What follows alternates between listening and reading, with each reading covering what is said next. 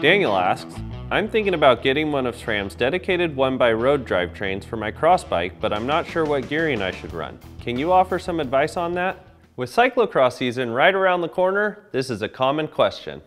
Using SRAM's Road 1x systems on a cross bike makes complete sense as many cross racers have been racing on a 1x setup for years, but now they have a couple factory dedicated 1x groups, which includes their new Rival 1 group set.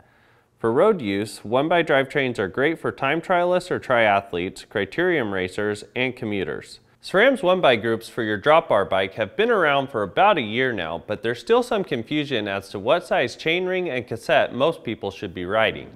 When selecting a chainring, 40 teeth is a great place to start for cross racing.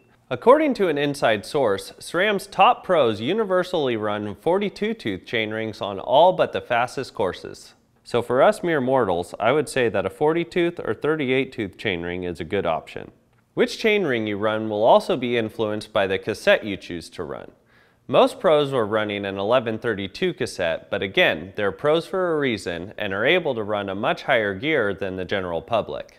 Smaller range cassettes are well suited for time trials, pace lining, and aggressive riding in rolling terrain. For cross, I would say an 1136 is a great option to start with. The 1042 cassette is awesome if you're really looking for a low climbing gear, but be aware that if you choose to run this cassette, you'll need a wheel set that is capable of accepting an XD driver freehub body. The benefit to running that cassette, however, is that you'll be able to obtain a one-to-one -one gear ratio with almost any chainring you choose to run. When choosing your cassette, keep in mind the gear range capacity of the rear derailleur cage length that you will need. Long cage 1 by rear derailleurs are made for SRAM's 1042 and 1136 cassettes, and the mid cage derailleurs are made for cassettes that range from 1128 up to 1136.